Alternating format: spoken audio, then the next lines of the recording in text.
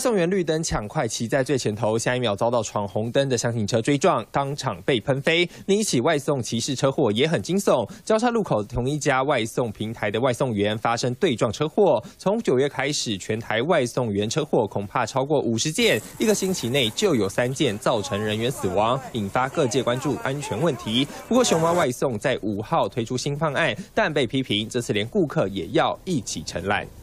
跳过冗长的队伍，下载福片达 App。明明是外送平台，但广告上直接打出外带自取，让人搞不清楚到底是要外送还是外带。有网友就不留情面，笑称这个计划是谁想的，逻辑思维完全没有。还有人说这样不就直接跟店家订购下单就好了？三爆熊猫外送也引发网友疑虑。